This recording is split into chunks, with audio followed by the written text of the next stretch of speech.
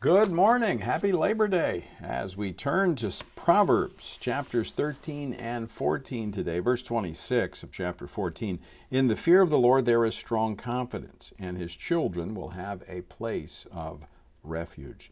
Now we're continuing in part two of Proverbs, looking at these contrasting uh, Proverbs of Solomon. Verse 1, chapter 13 A wise son heeds his father's instruction.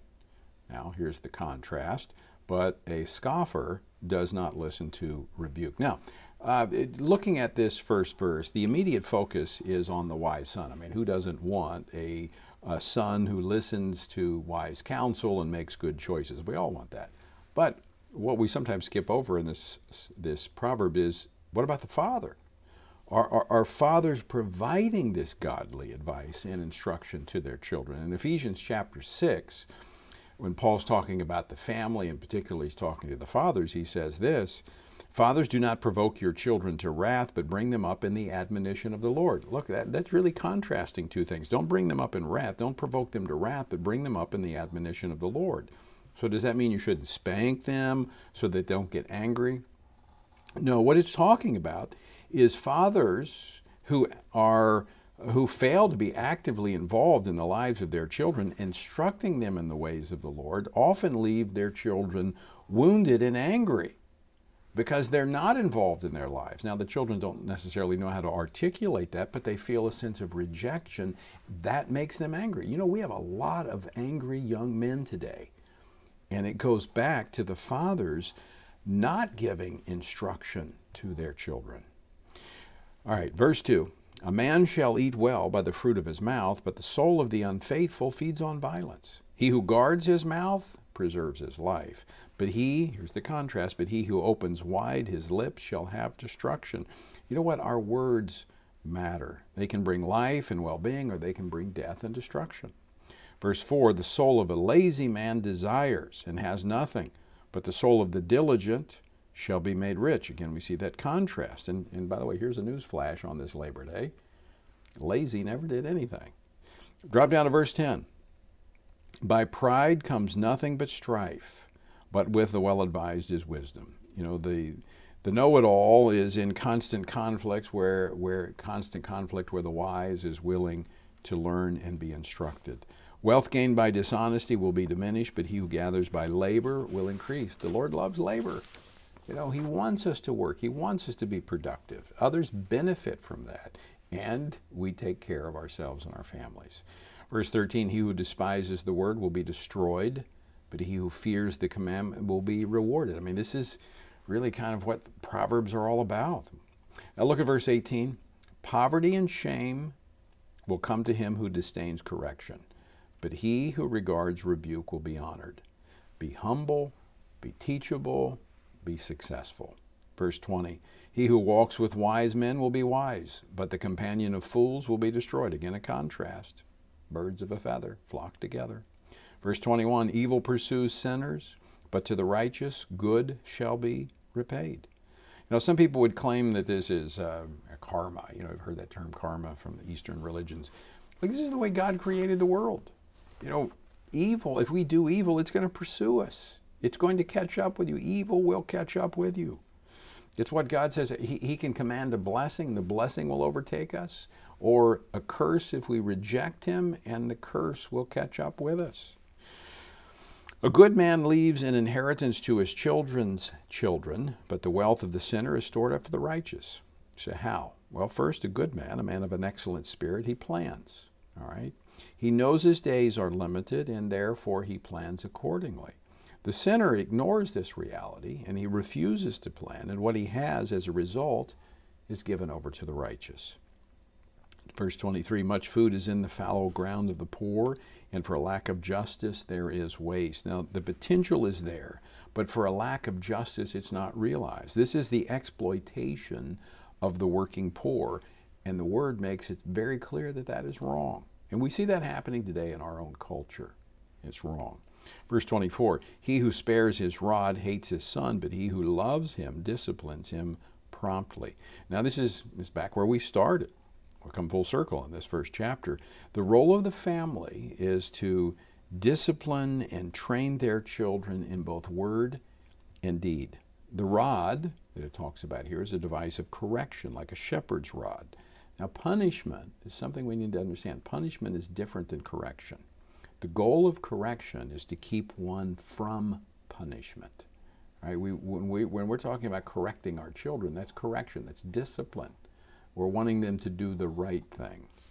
Verse 25 The righteous eats to the satisfying of his soul, but the stomach of the wicked shall be in want. This doesn't sound like the message, uh, I mean, this sounds like the message of, uh, of, of, of uh, Matthew chapter 6, verse 33 Seek first the kingdom of God and his righteousness, and all of these things shall be added unto you.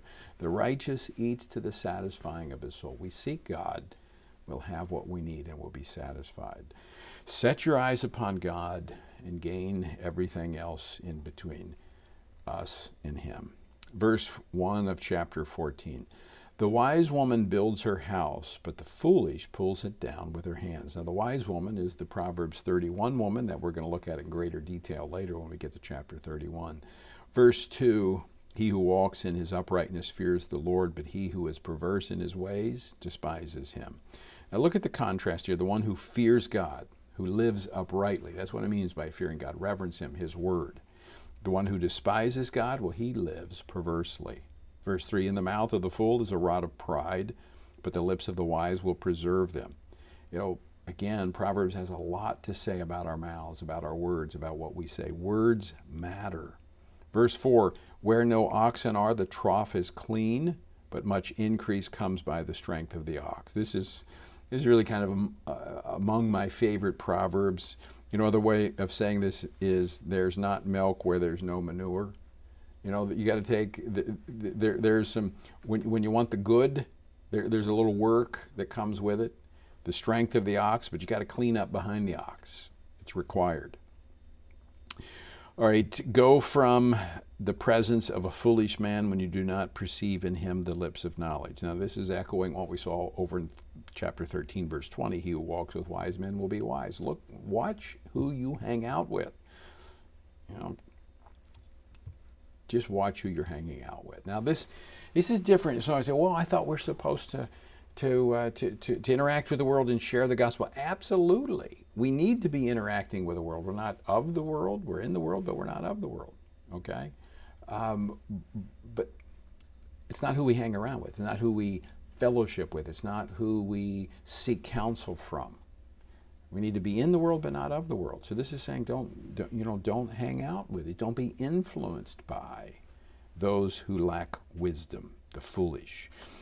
Verse 8, the wisdom of the prudent is to understand his way, but the folly of fools is deceit. We need, the, the prudent man is going to, to, to map out his course. He's going to, to, to constantly seek direction from God and understand all that's around him and, and plan his way.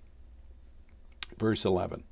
The house of the wicked will be overthrown, but the tent of the upright will flourish. I, I notice this here the house of the wicked versus the tent of the upright. You would think it would be the house that would last, but it is the upright character that brings lasting significance, whether it's in a tent or some other temporal being. Our, our this home, this earth is not our home. Right? We're, we're pilgrims passing through. Verse 12. There is a way that seems right to a man, but its end is the way of death.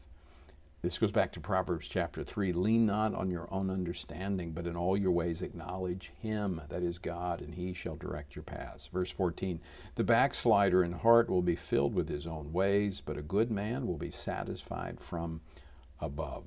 Verse 14, the simp, the, verse 15, the simple believes every word, but the prudent considers well his steps. I mean, this is, this is how the infomercial world makes money. If it's too good to be true, guess what? It's too good to be true.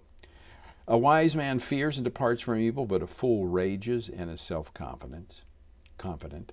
A wise man reverences God by obeying him, and as a result of that, that obedience to God, he departs from evil. A quick-tempered man acts foolishly, and a man of wicked intentions is hated. Verse 20, the poor man is hated by his own neighbor, but the rich has many friends. He who despises his neighbor sins, but he who has mercy on the poor, happy is he. There, there is more to come on this topic, but suffice it to say that God is not a respecter of persons, nor should we be. Verse 23 In all labor there is profit. All right. In all labor there is profit, but idle chatter leads only to poverty. Talk is cheap, but it's also costly. Like, uh, just like faith without works, it's dead. Talk without actions leads to poverty. Verse 26 In the fear of the Lord there is strong confidence, and his children will have a place of refuge. The fear of the Lord is a fountain of life to turn one away from the snares of death. The fear of the Lord is a strong tower of safety. Again, we talk about the fear of the Lord. The fear of the Lord is reverencing the Lord. What does that mean? That means we're listening and we're obeying. And that is a place of safety. Verse 28 In the multitude of people is a king's honor, but in the lack of people is the downfall of the prince. He who slow, is slow to wrath is, has great understanding, but he who is impulsive exalts folly. Watch out for those who have short fuses. Verse 30 A sound heart is life to the body, but envy is rottenness to the bones. He who oppresses the poor reproaches his maker, but he who honors him, that is, who honors God, has mercy on the needy. So the topic of how we treat the poor is revisited here, as I mentioned a moment ago. Verse 32 The wicked is banished in his wickedness, but the righteous has a refuge in his death. Wisdom rests in the heart of him who has understanding, but what is in the heart of fools is made known. You know, the person who has understanding and wisdom is rarely the one talking. Verse 34 Righteousness exalts a nation, but sin is a reproach to any people. Father, thank you for your word. And uh, Lord, we're just grateful uh, for the Holy Spirit, our teacher, and we continue to look to you for, for guidance as we go through this journey of your word, that you would speak to us. Lord, that we would come in alignment with your word, that we would fear you, meaning we would obey you. That, Lord, that we might have the refuge, the safety, the protection that comes from walking with confidence, knowing that we're living life as you have designed it. Lord, thank you for this day as we celebrate labor, the opportunity we have to work, to provide for our families. And I pray, Lord, for those that might be seeking work, uh, Lord, that you would give them those opportunities. And Lord, may we be grateful for everything that you have done for us. May we set our eyes upon you. We pray and ask this in Jesus' name. Amen. Thanks for joining me this morning. Until next time, keep standing on the Word.